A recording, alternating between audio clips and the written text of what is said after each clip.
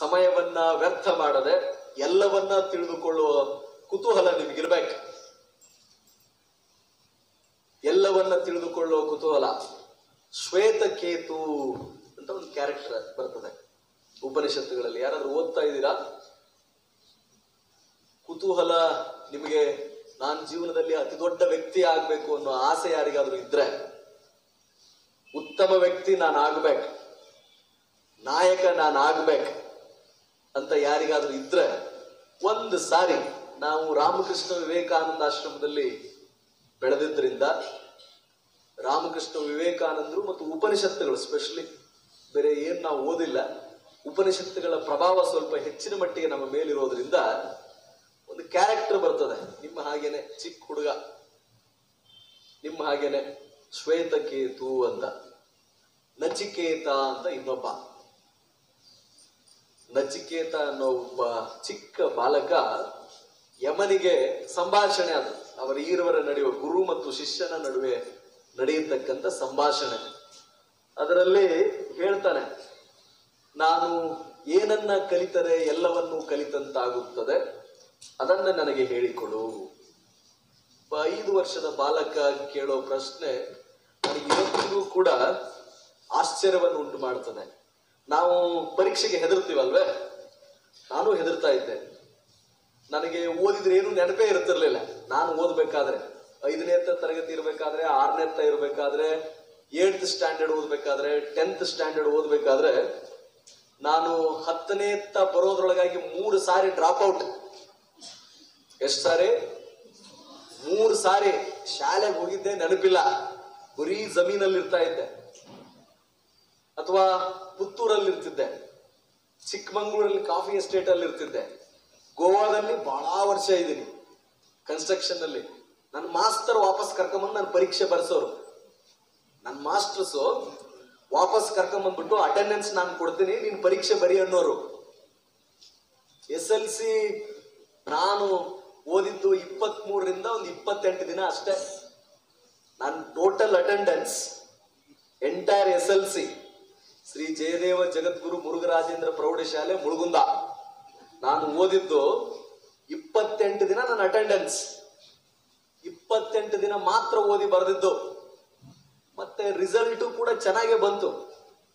ನಾನು ಡಿಸ್ಟಿಕ್ಕಿಗೆ ಸೆಕೆಂಡು ಸೆಂಟ್ರಿಗೆ ಫಸ್ಟು ಎಂಬತ್ತೊಂಬತ್ತು ಪರ್ಸೆಂಟೇಜ್ ಹೇಗಾಯ್ತು? ಹೇಗಾಯ್ತು? ಓದಿದ್ದೆಲ್ಲ ಮರ್ತು ಬಿಡ್ತಾ ಇದ್ದೆ. ಗುರು ಇದ್ರು ನನಗೆ.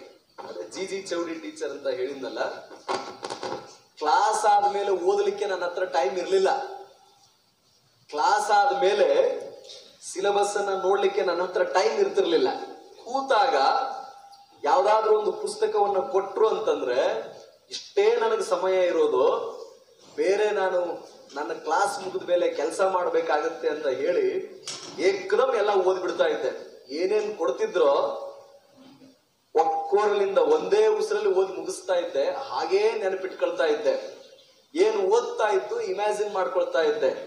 ನಚಿಕೇತ ಮತ್ತು ಶ್ವೇತಕೇತುಂದು ಯಾಕೆ ನಿಮಗೆ ಹೇಳಿದೆ ಅಂತಂದ್ರೆ, ಐದು ವರ್ಷದ ಬಾಲಕ ಏನನ್ನ ತಿಳಿದರೆ ಎಲ್ಲವನ್ನೂ ತಿಳಿದಂತಾಗುತ್ತದೆ, ಅದನ್ನ ನನಗೆ ಹೇಳು ಅನ್ನೋ ಪ್ರಶ್ನೆ ಮಾಡಿದನ ಮೃತ್ಯು ಚರ್ಮ ದೇಹದಾರಿಯಾದವರಿಗೆ ಅನಿವಾರ್ಯವೇ? ಬಂದೇ ಬರ್ತದ? ಹಾಗಿದ್ರೆ ಆ ಮೃತ್ಯುವನ್ನ ಗೆಲ್ಲುವ ಬಗೆಯನ್ನ ಹೇಳಿಕೊಡು ಅಂತ ಕೇಳ್ತಿದ್ನಂತೆ. ಅಯ್ಯೋ ಪುಣ್ಯಾತ್ಮ, ಮೃತ್ಯುವನ್ನೇ ಗೆಲ್ಲುವ ಬಗ್ಗೆ ಆ ಹುಡುಗ ಕೇಳ್ತಾ ಇದ್ನ. ಎಲ್ಲವನ್ನೂ ತಿಳಿದುಕೊಳ್ಳುವ ಕುತೂಹಲವಿತ್ತೆ.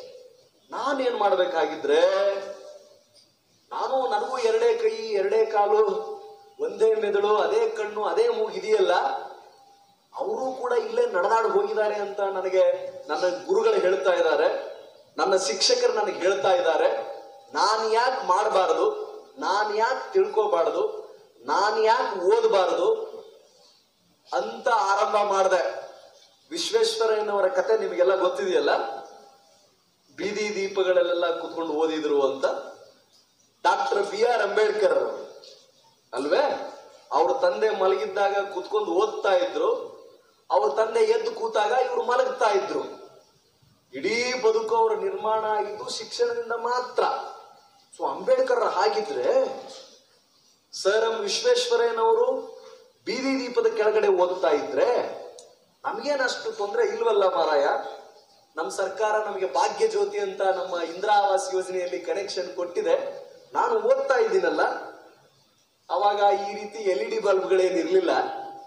ಆ ಬಲ್ಬಲ್ಲಾದ್ರೂ ಓದ್ತಾ ಇದ್ದೀನಲ್ಲ ಅಂತ ಹೇಳಿ ನಮ್ಮನ್ನೇ ನಾವು ಓದ್ತಾ ಬಂದ್ವಿ. ನಮ್ಮ ಉದ್ಧಾರ ನಮ್ಮಿಂದ ಮಾತ್ರ ಸಾಧ್ಯ. ನೀವೇನಿದಿರಲ್ಲ ಎಲ್ಲ. ಶಿಕ್ಷಕರು, ಶಾಲೆ, ಸಂಸ್ಥೆ ಅನ್ನೋದು ನೆಪ ಮಾತ್ರ.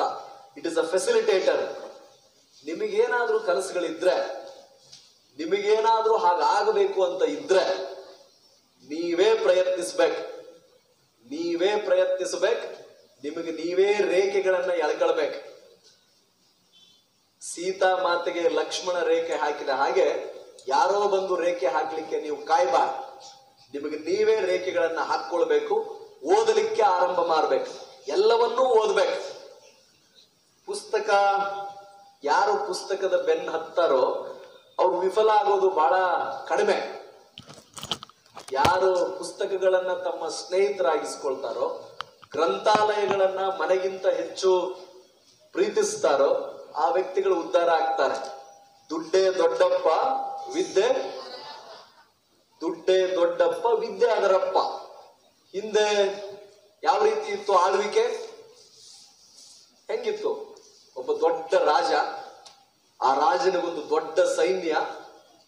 ಅವನಿಗೆ ಪಕ್ಕದ ರಾಜ್ಯದವರು ಇಷ್ಟ ಆಗದೆ ಹೋದ್ರೆ ಆ ರಾಜ್ಯದ ಮೇಲೆ ದಂಡೆತ್ತಿ ಹೋಗೋದು, ಅವರನ್ನ ಸೋಲಿಸಿ ಬಿಡೋದು ಸೋಲಿಸಿಬಿಟ್ಟು ಜಂಡ ನೆಟ್ಟು ಇಂದಿನಿಂದ ನೀ ನನ್ನ ಸಾಮಂತ. ಕಪ್ಪು ಕಾಣಿಕೆಯನ್ನು ಒಪ್ಪಿಸು ಅಂತ ಹೇಳ್ತಾ ಇದ್ರು, ಅಲ್ವೇ? ರಾಜನ ಮಗನೇ ರಾಜ. ಮಂತ್ರಿಯ ಮಗನೇ ಮಂತ್ರಿ. ಇವತ್ತು ಹಂಗೇನಾದ್ರೂ ಇದೆಯಾ? ಯಾರನ್ನಾದ್ರೂ ಹೋಗ್ಬಿಟ್ಟು ಹೊಡೆದ್ಬಿಟ್ಟು ಇದು ನನ್ನ ರಾಜ್ಯ ಅಂತ ಹೇಳಲಿಕ್ಕೆ ಆಯ್ತದ? ಇವತ್ತು ಜಗತ್ತನ್ನಾಳ್ತಾ ಇರೋದು ಜ್ಞಾನ. ಆವತ್ತು ಜಗತ್ತನ್ನಾಳಿದ್ದು ಖಡ್ಗ. ಯಾರು ಶಕ್ತಿವಂತರಿದಾನೋ?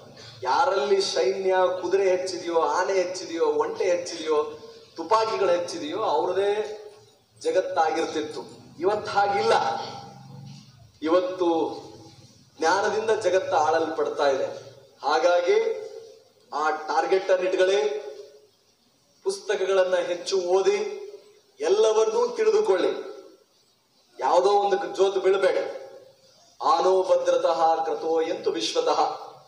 ಋಗ್ವೇದದ ವಾಕ್ಯ ಸದ್ವಿಚಾರ, ಜಗತ್ತಿನ ಯಾವ ಮೂಲೆಯಿಂದ ಬಂದರೂ ಕೂಡ ಕಲೀರಿ, ಸ್ವೀಕರಿಸಿ, ನಿಮ್ಮ ವ್ಯಕ್ತಿಗತ ಉದ್ಧಾರಕ್ಕೆ, ಆ ಮೂಲಕ ಸಮಾಜದ ಉದ್ಧಾರಕ್ಕೆ ಅದು ಸಹಕಾರಿಯಾದರೆ ಅದನ್ನ ನಿಮ್ಮ ವ್ಯಕ್ತಿತ್ವದಲ್ಲಿ ದಿನನಿತ್ಯ ಜೀವನದಲ್ಲಿ ಅಳವಡಿಸಿಕೊಳ್ಳಿ.